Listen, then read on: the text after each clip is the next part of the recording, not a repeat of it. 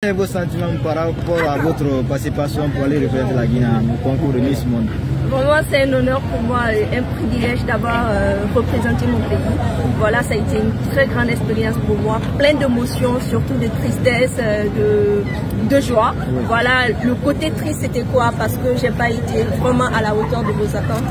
Mais machallah, je suis fière d'avoir tout donné et je suis très très reconnaissante de, de la Guinée en fait, de m'avoir soutenu et merci à vous d'être là. Merci. à l'endroit du chef de l'État aujourd'hui au peuple de Guinée? Le chef de l'État, je le remercie euh, de m'avoir soutenu. Je remercie euh, le peuple de Guinée de m'avoir soutenu.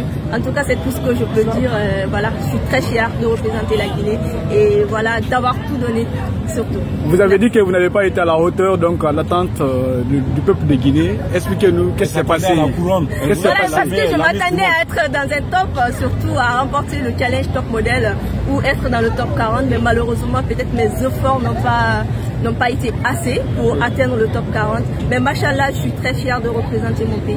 Je suis très heureuse. Après cette compétition, on peut connaître les projets futurs de la Miss Maquille. ça vient, ça vient. En tout cas, je compte avoir décroché des gros contrats à l'international et aussi poser pour des marques, Inch'Allah. Bien sûr, continuer avec ma fondation pour la protection de Un l'environnement. dernier mot Ah oui.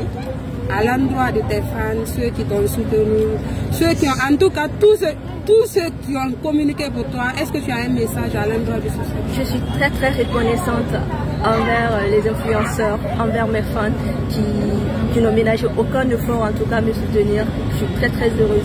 Et vous m'avez tellement remonté le moral quand j'étais là-bas et puis je lisais les commentaires, ça me reconfortait vraiment. Merci à vous et mille merci.